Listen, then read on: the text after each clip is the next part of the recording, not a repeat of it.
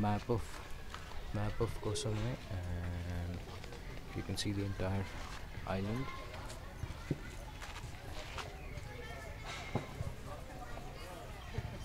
This is where the full moon party happens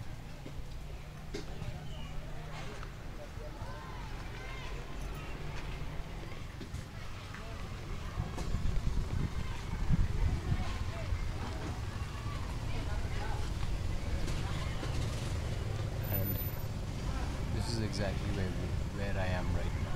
It's in Plai Laem Temple. That's exactly where I am. Get an idea of different places the island and the overall look of the island. See and the places to stay. This part is definitely most happening. Lots and lots of you know places to stay, places to have fun, chill out. Lots of great places. So I would definitely recommend staying and having fun along the side, entire stretch, Chaweng Beach. Cheers.